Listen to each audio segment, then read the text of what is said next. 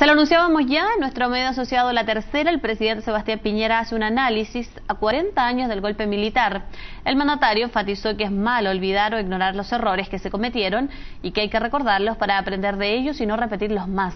Además, en la entrevista publicada este sábado, el presidente Piñera se refirió a los dichos de la candidata oficialista Evelyn Matei respecto de pedir perdón por haber apoyado el sí.